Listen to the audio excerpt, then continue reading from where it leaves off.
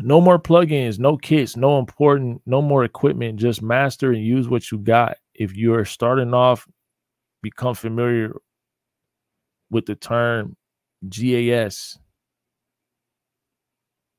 The fuck is GAS? Hold on, don't tell me, don't tell me, don't tell me, don't tell me, don't tell me, don't tell me. GAS.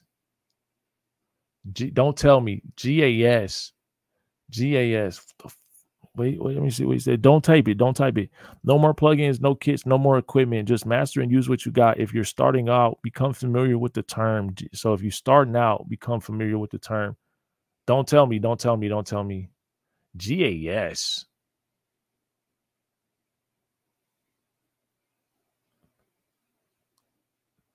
The S gotta don't fucking type it, man. Don't tell me. Don't tell me, bro. Don't tell me. Don't tell me. No, no, no, no, no, no, no. Don't tell me, bro. Don't tell me. Don't tell me. Cause I'm be mad. I'll be mad because I'm like GAS. Because he said, he said, he said, be if you're just starting out, become familiar with the term GAS. S- stupid. Wait, wait, wait. Uh, I don't fucking know. What GS GAS stand for, bro? The fuck?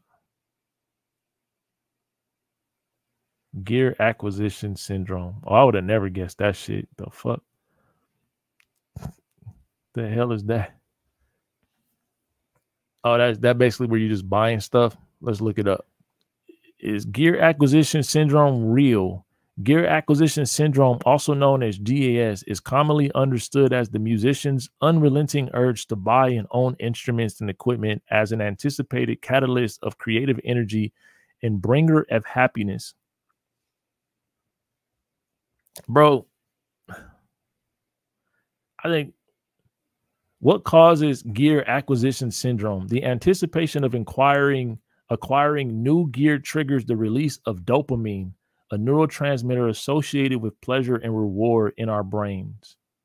The dopamine release can create a temporary high, a feeling of euphoria that makes us feel good.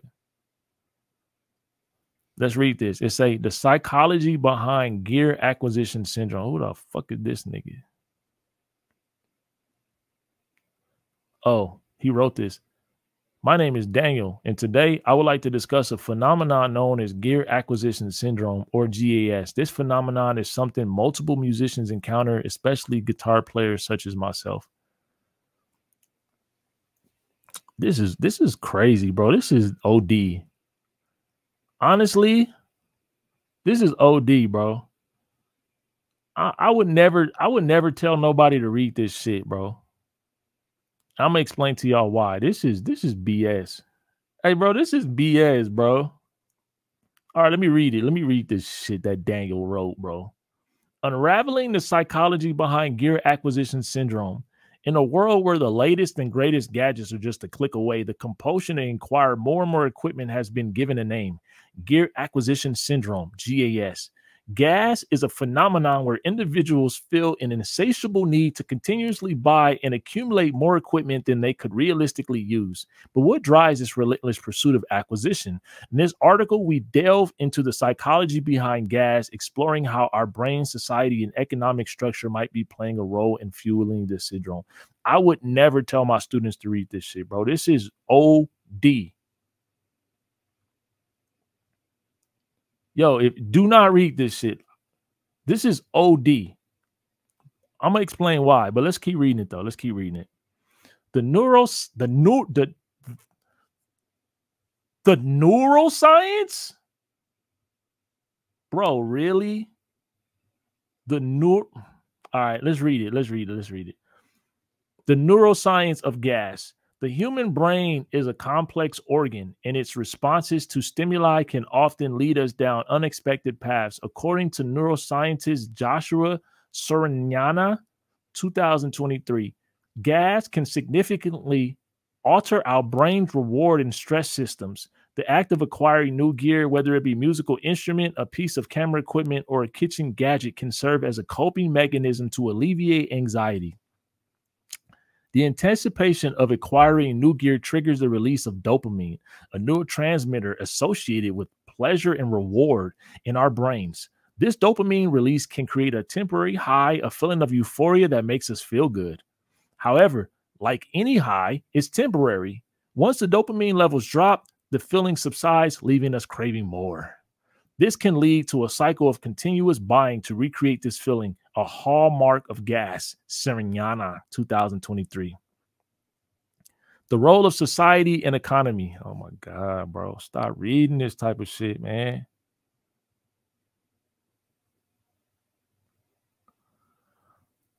Our society and economy play a significant role in shaping our behaviors and desires. In a society characterized by high levels of resource abundance, behaviors such as gas may become more common. Varnum and Kwan, 2016. The availability and accessibility of goods combined with societal pressures to own the latest and greatest can contribute to the development of gas. In our consumer driven society, we are constantly bombarded with advertisements and messages encouraging, encouraging us to buy more. The latest gadget is always touted as su- being superior to the last, creating a sense of urgency and desire to upgrade. This, coupled with the ease of online shopping and instant and the instant gratification it provides, can fuel the cycle of continuous acquisition characteristic of gas. Oh my God, this is cringy, bro. Managing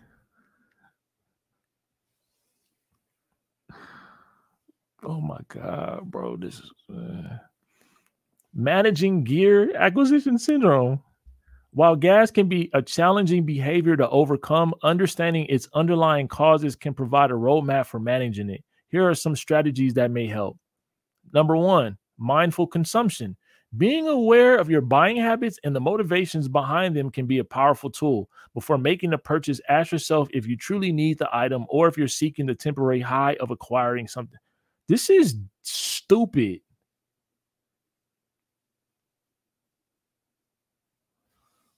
I gotta keep reading this shit. Ah, I'm gonna keep reading it, bro. This is really dumb. This is really stupid. Two, budgeting. Setting a budget. This is dumb. I don't even want to keep reading this shit, bro. But I, am like trying to force myself to keep reading it.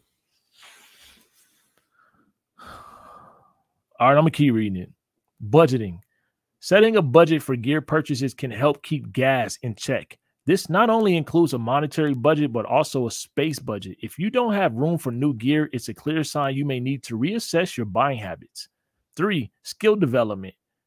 Instead of focusing on acquiring new gear, shift your focus to mastering the use of the gear you already have. Remember, the key to improvement in any field is practice and experience, not necessarily the latest equipment support networks. Connecting with others who understand and have experienced gas can be beneficial. This could be in the form of online forums, support groups, or therapy.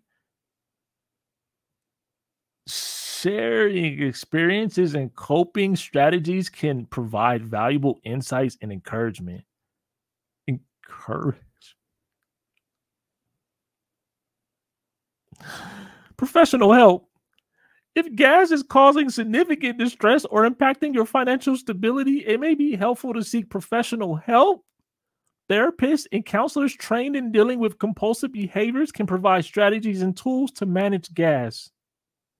Remember, it's normal to enjoy the thrill of new gear, but it's important to ensure that it doesn't become a compulsive behavior that negatively impacts your life. By implementing these strategies, you can enjoy your passion without falling into the cycle of continuous acquisition.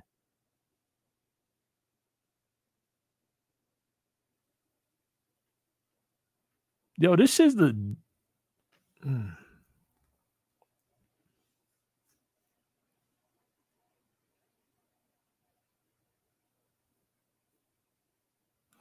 You just need a mentor that you trust and respect and just do what he tell you to do, bro. This shit is fucking crazy. Daniel Lorena. Let's go see what he doing. Let's see if he quit music. He let's, let's go see it, bro. Let's see if bro gave up. Daniel Lorena. He, oh, he bro is selling houses now.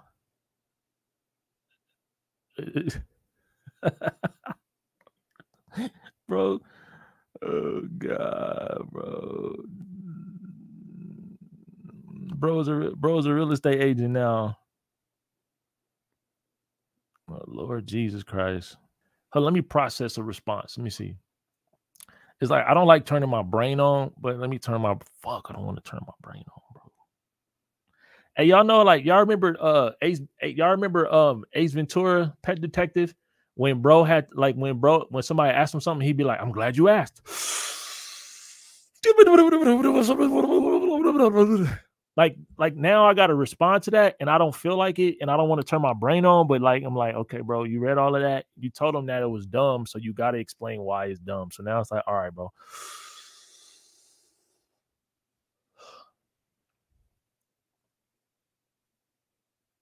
Mm, I still don't feel like doing it man bro if you want to buy shit buy shit man it's that simple it's a learning lesson and everything bro if you are continuing to buy stuff over and over and over, you are distracting from the fact that you probably are just not good at music and your mind is just not focused on music. So it's that simple, bro. If you are spending, if you got gas, you are not committed to the art. You don't have an objective. You don't have no jobs. You're not working on no opportunities. It's that simple. So if you focused on buying shit, you are one foot in music and one foot out, and you're probably very unintentional in music, and you're probably not good, and you probably have a lot of insecurities that are causing you to stay distracted from actually putting into work to be better in music, bro. So the fact that while you can't put your finger on why you continue to buy shit, it's as simple as, bro, you your mind is consumed in another area of your life. And you're not willing to sacrifice those things to do music for real because doing music for real is very boring, is very tedious, and it requires a lot of work. And since there are no guarantees on the on the other end, it's kind of hard for people to commit to music the way they commit to college. It's kind of hard for people to commit to music the way they would commit to getting their real estate license or preparing for the real estate test because it's very dark at the end of the music road. And so a lot of people cannot commit to the music journey because it's dark. And so a lot of people put themselves in the recreation category. A lot of people put themselves in the I just do music for fun or as a hobby category, knowing damn well if they favorite artist reached out to them, they would be on a plane, a train, or a motherfucking automobile to go and try to secure the opportunity that they never believe they can secure because that's how wacky music is. So since people are not af- since people are afraid to jump off the porch, since people are afraid to pull a trigger and actually commit 100% to music, they find themselves in a space to where they're not going to put music as number 1. And then it don't don't have kids and don't have a girlfriend and don't have a wife or don't have a, a 9 to 5 or a job or don't ha- don't be a person who wants to maintain his credit or don't be a person who has a car note and insurance and you paying all your bills every time on the first and you getting haircuts every two weeks and you going to the gym and you getting in shape and you making smoothies every motherfucking morning like you're not going to be able to focus on music if you're doing all of that. So since you're spending some time in music your mind is consumed with all this other shit so while you sit down to make music and you're not good at it you're not good at it. So you're not you're not getting the sounds you want. You're not getting to the, the the visions that you have for music. You're not able to get there creatively because you're not investing the amount of time into it. And so you sit there and you get stuck. So is you you get a better feeling from watching other people do music than you making music yourself because you're able to be inspired by the beautiful music that other people make when you watch it versus you doing it because you can't do it. You don't know how to play keys. You barely know how to play scales. You know how to play the chords, or you need to learn this. Or in order for you to get to that sound that your favorite person gets to, you got to learn how to play guitars, which means you got to play, you know, take guitar lessons. But what's the point in investing money and time into learning a guitar or a piano or a DAW if it's dark at the end? So people say, okay, well, I'm not going to jump off the porch or the cliff or stop going to the gym or stop cutting my hair. I'm not going to stop making my smoothies. I'm not going to stop going on dates every Friday night with my girl. I'm not going to stay up after 11 p.m. to make beats or make music because it's going to affect my time from going to work or I might get written up or I might get fired. And so you you invest minimal time into the art and you're never able to get anything from it because you're not giving anything to it. So now you're distracted because your mind is distracted with life, bro. Your life, your your life is your mind is distracted with fucking life, which is okay. It is okay to be distracted with life. If you're taking care of your responsibilities, you are a good person. You are a good fucking person. So if your ass is waking up, making smoothies, going to the gym, kissing your girl, taking your kids to practice, taking your kids to school, taking your ass to the gym, going out on outings with your family, hanging out with your boys, getting your hair cut every two weeks, washing your car, paying your bills on time, managing your credit, checking your credit karma, and music is fourth, you're a good person. But the problem is you're passionate about music to some extent, and you want music to serve you in a way that your girl's serving you. You want music to serve you in a way that your kids are serving you. You want music to serve you in a way that your job's serving you. You want you want music to bring you in money the way your job is bringing you in money because you've seen other people do it. So now you go and you think that this magic this equipment is magically going to propel you to the place to where you can have music serve you but you realize that you got to put a lot of hours into that shit and you ain't ready to put the hours into it so you just keep buying all of this shit over and over and over and over thinking that it's going to propel you and it doesn't bro you still got to put the hours in so now you're wondering why you're buying shit and then you're wondering why you're not being propelled musically because you didn't put the hours in so now you think you got a fucking problem. So now you diagnose yourself with gas. No, you don't have gas, bro. You don't need to go to a licensed professional. You don't have a disorder. You just got other shit in your life that's priority. It's fine. It's fucking fine. That's crazy, bro. That's wild. So while you sitting there thinking, so while you over there diagnosing yourself with a problem to where you got to seek a therapist, you just diagnose yourself with a, a disorder. You don't have a disorder, bro. You don't have a disorder. You just the, the, music journey is dark, and your mind is is saving you by telling you that, like, bro, you can't invest hours into something that has a dark tunnel at the end. There's no guarantee in music. So if you go buy a Roland, then a Korg, then a Yamaha, you go you go you go buy a Gretsch guitar, or you you go buy you know shit LP or whatever kind of drums, and you go buy you spend 10k on music, bro. Okay, there's there's no return on your investment most likely in music, bro. So if you keep buying shit, it's because it's probably all the shit that you dreamt of having when you were a kid or your favorite artist has, bro. You buy it, okay, cool. But the problem is, is we buy it and we want it, we want it to do something for us.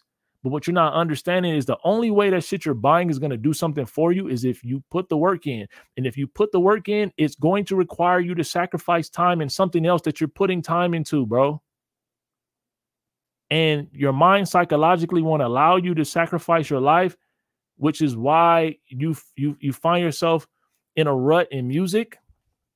And and, and instead of facing it, you go buy more shit, which is the coping mechanism for sure. But if you got the money to do it, then fucking okay, whatever. It's not a disorder. You just got to make a decision. That's it. You want music to serve you, but you want to be in bed when your girl get in bed. You don't want your girl to wake up at 5 a.m and be upset because she reach look over and your side of the bed is cold because you never got in the bed. And then she get up because she worried about you and your ass in there making music. So that's why you got gas. Cause cause you get in the bed when she get in the bed. Y'all spooning, y'all kissing, y'all cuddling, y'all having sex. Your kids wake up in the middle of the night, they get in the bed with you. So you gotta, you know what I'm saying? So you taking care of your kids you you putting your kids to sleep, you get up, you combing your kids' hair, you putting clothes on, you taking your kids to school, bro, and you talking about you got gas. No, bro, you got priorities, and you're actually doing a good job because you're taking care of your actual your life, bro. So you don't got no disorder, bro. You actually a smart human being. Fuck wrong with y'all, bro? Fuck wrong with y'all, dude? You just gave yourself a disorder. Now all that money you just spent all this money on this equipment right? And now you about to go spend money on a therapist, and then he gonna sit there and take you through the motions because that's what he get paid for. So either gonna coddle your your your disorder and and feed into it because the therapist ain't gonna tell you on the first day, like, bro, I'm not even gonna take your bread, bro. You tripping? This shit don't fucking exist, bro. He gonna he gonna take you through them eight therapy sessions.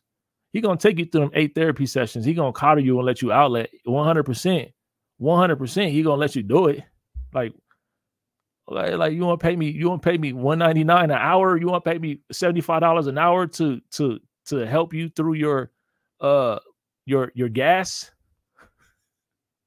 So you just go, all you're gonna do is go in there and pay this dude to tell him all the shit you bought, and then tell him that you keep buying more shit, and he probably don't even got no experience in music. So he he learning from you. He learning from you. If you ever been to therapy, you know they be really learning from your experiences to use on the next people, bro. So you went through this whole rabbit hole when you just needed one person to tell you you tripping, stop buying this, buy this, use this, do this with that, do this with that, do this with that. That's all you was missing was a mentor. But see, this wrong with the DIY community. Y'all be trying to get and do everything on your own. It's not how this shit work. You need a mentor. Y'all need guidance. Y'all need development. Y'all need somebody that can help y'all, like a Dame Taylor, bro. Y'all be wanting to DIY. Y'all just want to go buy shit and watch a tutorial, and now your ass on all streaming platform. That's not how this shit work, bro. It's not how it work. It's the problem, bro. Shit crazy. Yeah, then bro i ain't never dealt with no shit like that bro. I got people i got people in my in my in my life that i trust and i listen to whatever the fuck they tell me. That's it. That's that's that's the that's that's the golden rule bro. You got to have a community of people that you can listen to what they tell you to do. It's that simple. So Join M League. I'm I'm not gonna put out. That's the one thing about M League, man, is that and this this ain't no plug for M League. This is this is what M League is, bro. Is making sure that everybody does the most with their time and does what makes the most sense for them and for the community. Is it's that simple because all the M League members got kids. Like one of our M League members just joined. He worked 50 hours a week and he's trying to find a way to make time for music. So my job is to help him figure that out. You know what I'm saying? Like my job is to help them figure that out.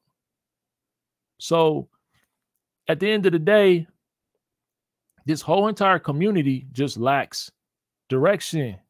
Y'all all got equipment. Y'all all everybody in here has at least a Scarlett. Everybody here has at least a Scarlett, but y'all don't know how to get to where y'all want to go.